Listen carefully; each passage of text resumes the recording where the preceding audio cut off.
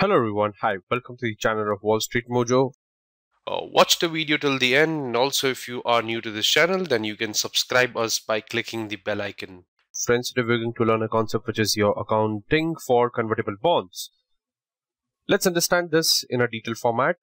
At the very inception stage, we need to understand that, you know, bonds are the long-term, they are known as your long-term uh, financial instrument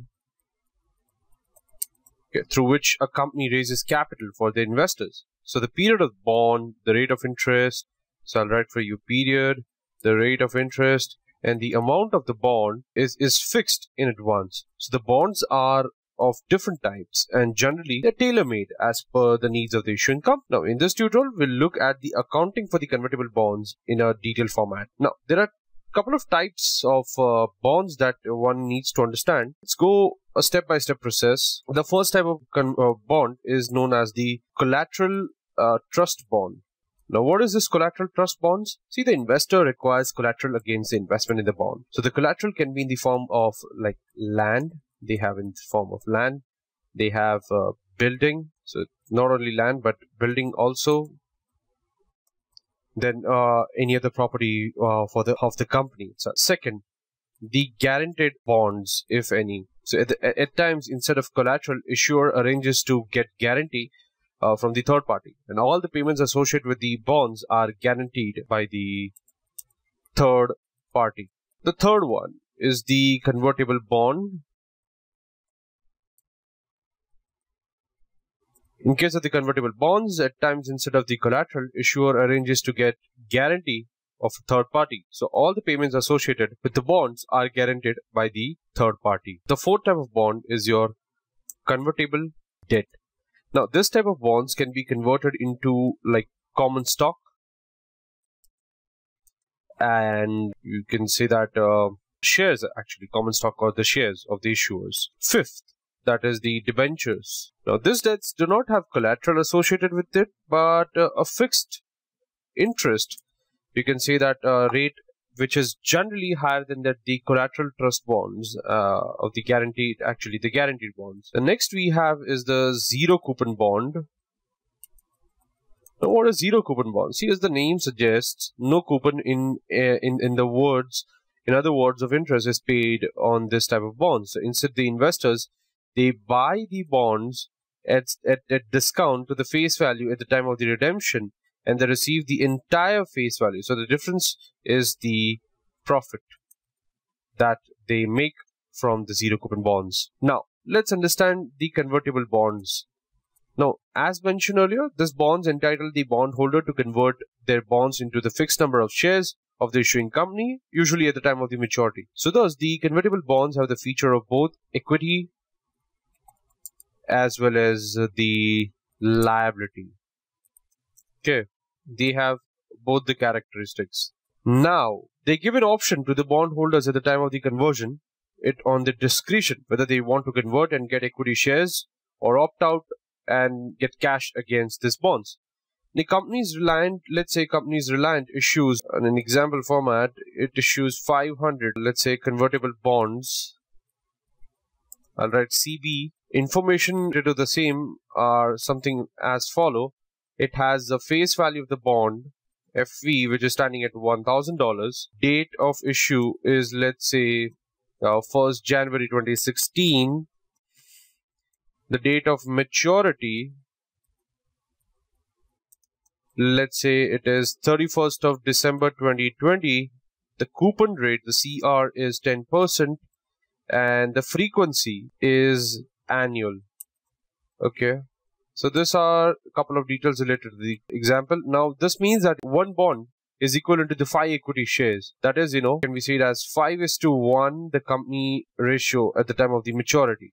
And the rate prevailing in the market is 15% so this this is how the things are been uh, taken down in the convertible bond now, the basis for the accounting for convertible bonds. Now, since the, since the convertible bonds have the feature of both liability as well as the equity, it makes more sensible to account for the liability portion and then the equity portion. So this will help to give a true and fair view of the financial statement of the organization. The first and the foremost thing is that, you know, as these bonds are convertible to equity in the future, they offer a lower interest rate and accounting for the equity and the debt portion separately will show the true uh, financial uh, cost of the organization.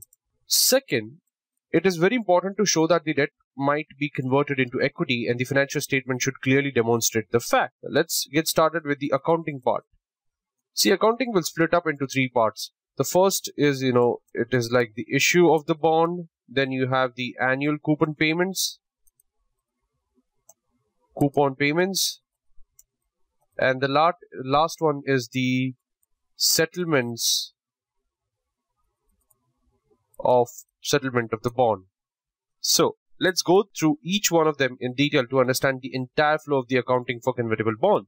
First, we'll go with the issue part. The split between the equity and the liability portion needs to be accounted for at the time of the issue of the bond itself. So the equity and the liability portion of the convertible bond can be calculated using the residual approach. Now this approach assumes that the value of the equity portion is equal to the difference between the total amount received and the proceeds of the bond and the present value of the future cash flow from the bond. It involves A, the liability portion, which is your liability portion of the convertible bond is basically the present value. It is a PV of all the future cash flow and uh, calculated by discounting the future cash flow of the bonds, interest and principal at the market rate of interest with the assumption that no conversion is option is available. And using this example, what we just understood, it will look something like this. It will look something like this. The year, date, the coupons, final maturity amount, and then it is discounted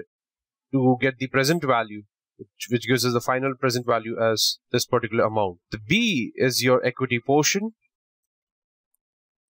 Value of the equity portion will be different between the total proceeds received from the bonds and the present value of the liability portion. So the total proceed will be uh, equal to your 1000 into 500. That was the amount total.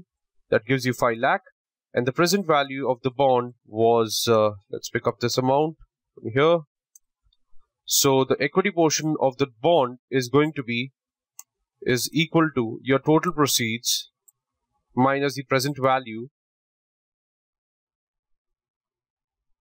this is supposed to be 5 lakh. So I'll just take it. 1 2 3 4 5 5 lakh less this amount. That is 83803.88 so the very uh, journal entry over here is going to be 10% uh, convertible bonds series 1 or the 10% convertible bond uh, sorry the bank account will be debited because that's the amount you will receive.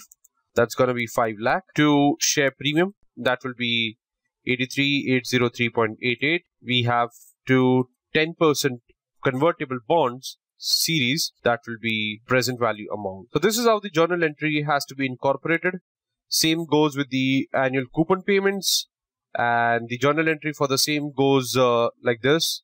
The interest account debit, the interest account will be debited to the extent of the interest that are been paid, which is going to be closely to 62 429.42 to convertible bonds account debit that will be 12429 which is your uh, present value. And the amount that is going to go bank account that is going to be 5 lakh. So this is how the accounting entries are going to go about for with this particular bonds. On the final concluding note convertible bonds are of different types. We understood the entry portion also uh, how they have been bifurcated uh, that's it for now for the accounting of convertible bonds. So that's it uh, for this particular topic. If you have learned and enjoyed watching this video, please like and comment on this video and subscribe to our channel for the latest updates. Thank you everyone. Cheers.